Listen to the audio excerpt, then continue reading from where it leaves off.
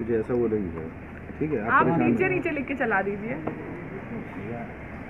आकाश जी मैं क्या करूँ? वैसे वाली बात आप हैं। नीचे नीचे जो जो चल लिखना है चॉकलेट देख लीजिए ये बदतमीजी लेकर के आए। इसीलिए आप लोग लेके आए ये सब लेकर के आए अच्छा सुप्रीम कोर्ट से मुकदमा जीत के आई हूँ तो तुझे चॉकलेट दूँगी क्या? आपको आइए तस्वीर के जुला के यहाँ आई हो मर के रगड़ कर गई हो। देखिए आप लोग तो हैं घर आई हो? इसमें लिखा हुआ है। दो टके के जुलाहे के लिए मर रही थी तू।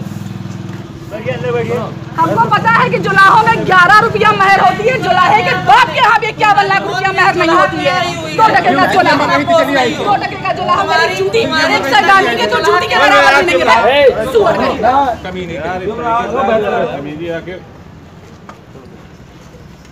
चलिए चला जाए कागज़ लिखा पड़ी हो गई। लिखा पड़ी हो गई ना? तो बस कागज़ ले लीजिए चलिए चला जाए फिर देरी क्यों? हो गया सारा काम हो गया। जो करना कागज़ी कर रहे हो बदतमीजी करेगी जूता कहेंगे चुप रहो यार। नहीं। सर आप लोग जो अरे उनको भी चुप किया जा रहा है। आप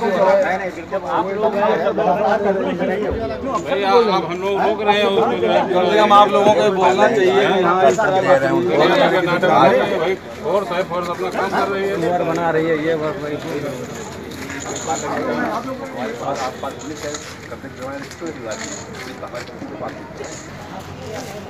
बना दो, हम अब बीच नहीं लाए ना बाइट के भी हम सकती हूँ।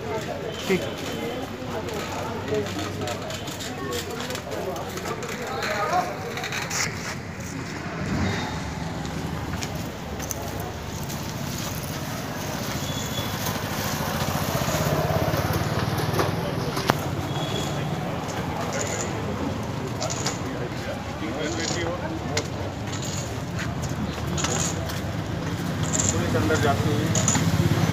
हमारी गाड़ी के पीछे लग गया है।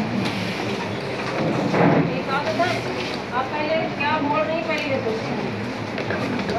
मेरी अंकल को कुछ घटना हो जाएगी आप जिम्मेदार हो। लेकिन सर बलपूर्वक अगर हो हम तो आपके सुरक्षा के लिए हैं। कि कोई वहाँ आपसे बदतमीजी ना करे कुछ ऐसे ना हो। आपके लिए हैं हम। कोई वहाँ पर ऐसा माहौल ना खराब करे अगल बगल के लोग मारपीट करें इसलिए हैं। अगर हमारे आदेश होगा तो कुछ नहीं कर बहुत बड़े किया गया हम हम इस चीज़ को एक्सेप्ट करते हैं कि मेरे अंदर इतना करेज या इतना जिगरा आज की तारीख में ट्वेंटी फोर्थ मे को नहीं है कि हम हम टीवी की है और जितना बोलना हम नहीं सकते तो ऐसा हम नहीं टीवी पे नहीं ऐसा संभव नहीं है वो अलग है। तो आप इसको मान हमारे अंदर इतनी हिम्मत नहीं है। थोड़ा और रुक जाए। अगर अब कंप्लायंस नहीं होगा तब टीवी पे आएँगे। और देख ले जरा से। ठीक है। जरा से और देख लें।